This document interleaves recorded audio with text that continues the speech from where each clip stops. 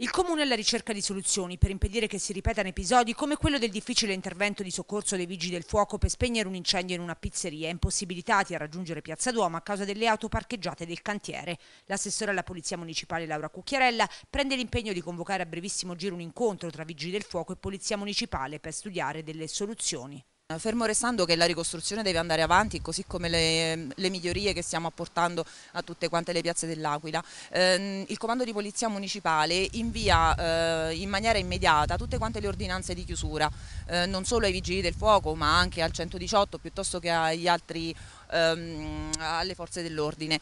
Oltre a questo abbiamo pensato in questi giorni, subito dopo l'accaduto, di aprire anche un'interlocuzione eh, proprio con queste forze, soprattutto con i Vigili del Fuoco e il 118, per fare in modo eh, di eh, diciamo, sederci a tavolino e vedere dove sono tutte quante queste criticità. Partirà infatti a breve una lettera da parte del Comando di Polizia Municipale indirizzata proprio a queste, ehm, a queste categorie per cercare di eh, capire come fare a trovare, e trovare delle soluzioni per eh, fare in modo che eh, dove ci sono delle criticità eh, riusciamo a trovare delle strade alternative.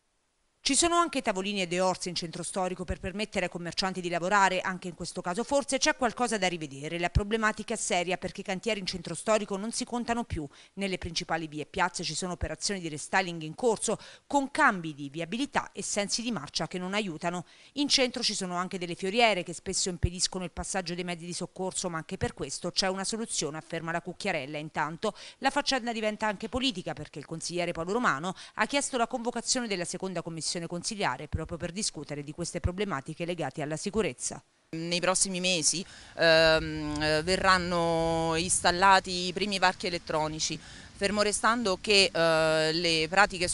di, hanno un, un, iter lungo, ma in tutte quante le ZTL eh, le fioriere verranno sostituite appunto da questi apparati in maniera tale da eh, scongiurare appunto gli ingressi illeciti e consentire quindi ai mezzi di soccorso di poter accedere in tranquillità e sicurezza.